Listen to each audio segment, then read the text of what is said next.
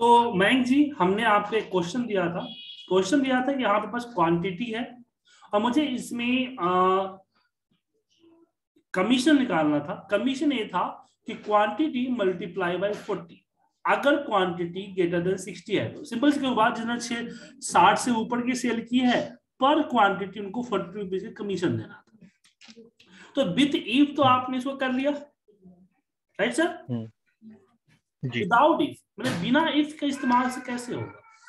तो पहली चीज़ याद कीजिए मैंने बताया था कि एक्सल में ट्रू होता है वो वन वन होता है राइट और फॉल्स क्या होता है? वो ज़ीरो होता है।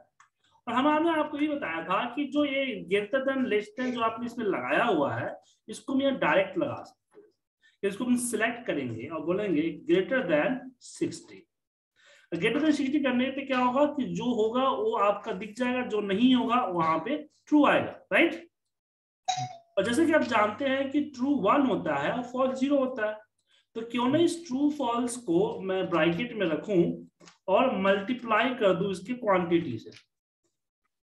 तो फॉल्स वाला क्वांटिटी ज़ीरो देगा और ट्रू वाला क्वांटिटी जो क्वांटिटी वो देगा क्योंकि 65 को वन से मल्टीप्लाई तो 65 भी आएगा ना सर क्या सर मम्मी हाँ। देखना सिक्सटी फाइव यहाँ पे आ गया।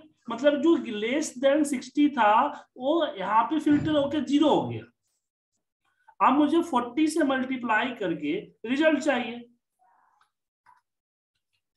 तो यहाँ पे हम 40 से मल्टीप्लाई किया और एंटर प्रेस कर। तो बेसिकली क्या है कि आपको कहीं कहीं पे चीज़ें इस्तेमाल करनी पड़ सकती है अल्टरनेटिव तो वो चीज़ आपको आना चाहिए। कहने मतलब ये ठीक है?